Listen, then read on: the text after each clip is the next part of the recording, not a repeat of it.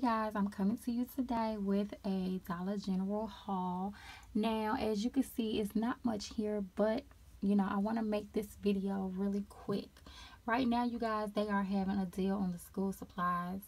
Um you get five dollars off if you spend at least fifteen dollars. Now i did really good with this deal. I only came out of pocket like for something and the paper right now is on sale for 75 cents each as you can see i grabbed four of those there was no coupon or anything for it but there was a discount because of that five dollars that came off the glue right now is on sale for 50 cents each they were a dollar um but like I said, they're on sale 50 cents. And I had a coupon. I had two coupons that where if you buy three, you get a dollar off, making it 50 cents. And then, you know, 50 cent divided by 3 and what do you have? It rounds off to about 16 cents each for the glues.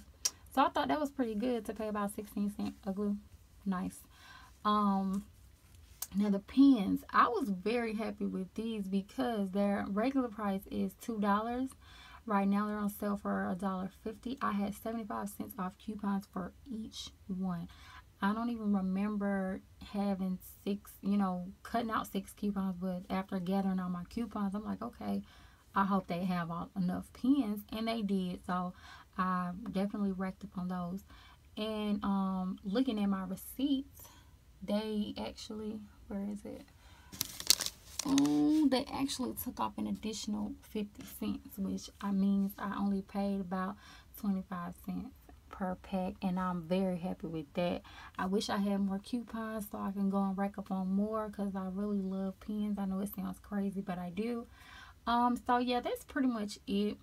Um, so you know my total was 450 and I'm happy with that. I am definitely happy with that. So if you have kids or if you are like me and you do a lot of crafts with your kids and they might be little ones and not really in school and just preschool or anything like that, even if you just need office supplies, I say go on up there and take advantage of that 5 off of that 15 in school supplies because it even applies to book bags and they have book bags that are $3 and $5 so they have some really good things.